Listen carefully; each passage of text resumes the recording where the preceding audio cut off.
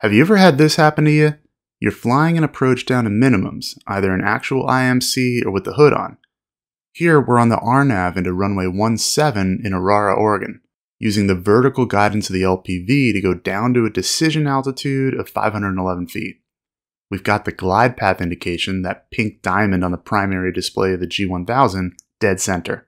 Just as we approach minimums, we start to see the runway lights poking through. We have the runway threshold lights in sight, and so can descend to land per 91175C.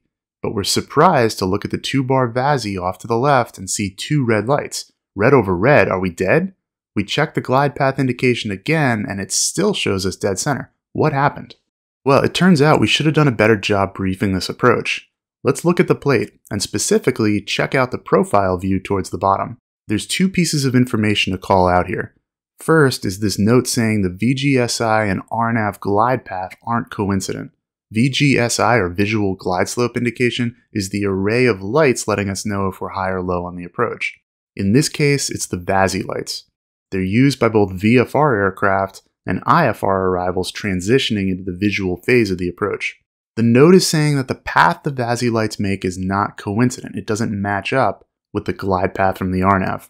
Then in parenthesis, it says what the angle is, 3.5 degrees, and that it crosses the threshold at 38 feet.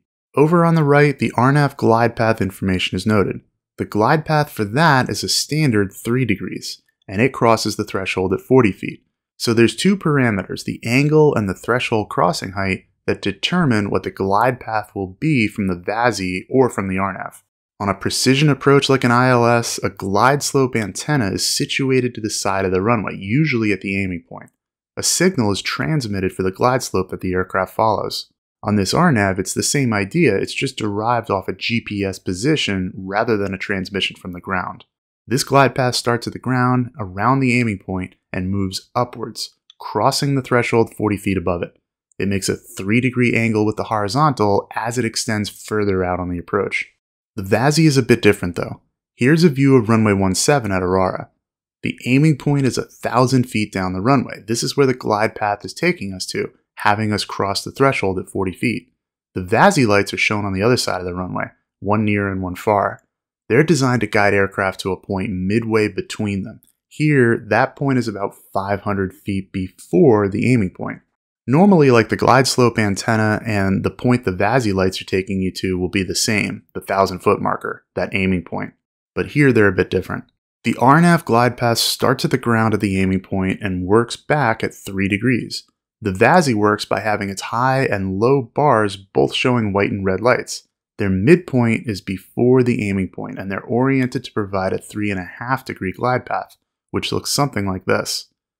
It crosses the threshold at 38 feet, just a hair below the crossing height of the RNAV glide path. An aircraft flying visually will see a red bar over a white bar when on the VASI glide path.